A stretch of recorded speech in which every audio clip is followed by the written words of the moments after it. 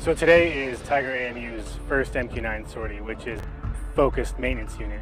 So for us to start working on and generating the MQ9 uh, is a huge step towards uh, modernizing the RPA fleet. The aircraft uh, and the MQ9 is just that platform.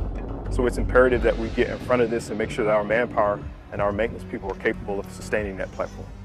While most people are unfamiliar with the RPA Enterprise and mission sets that we do, it seems as if uh, we have such a tie to the warfighter on the ground that this is an outstanding opportunity for us, for our airmen, and every one of them are excited to be here, to go downrange, to fight the fight. For our supervisors, our frontline supervisors, to really focus on the, the small details of, of our paperwork to make sure those are all squared away, that's the biggest challenge we face right now. So the MQ-9 is going to be retired fully out of the inventory, at least that's what has been proposed.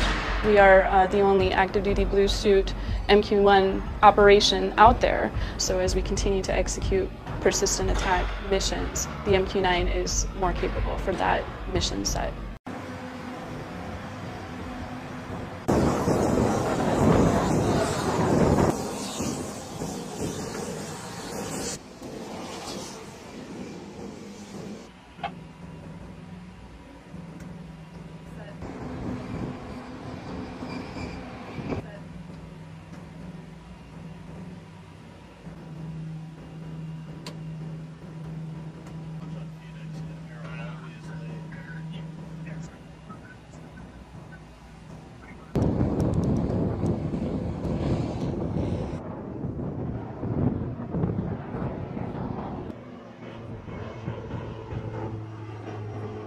I absolutely love being a part of that, and this is a great community to be involved in.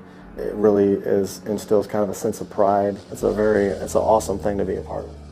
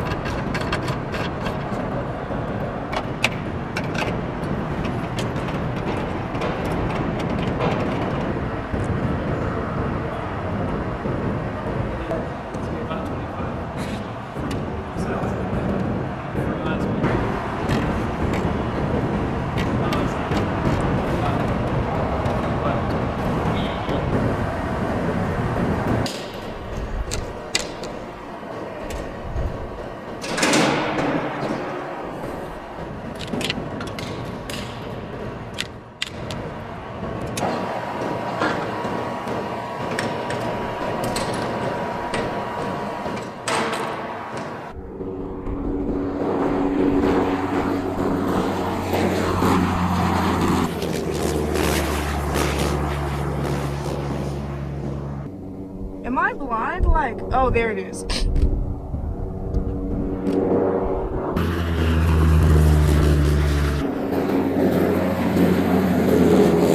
um, weapons and I load bombs and missiles on the MQ-9s. Been in the Air Force a little over two years and uh, avionics on MQ-9s. Uh, we work with crew specs. Um, yeah, here it's just really easy to get stuff done a little bit quicker because we're all kind of in the same building and working together. So. And this is a whole new ball game. This is nothing we learned in tech school. It's not in our CDCs. It's just it's brand new for us. So it shows that what we can do um, back at home station. Um, we only live inerts.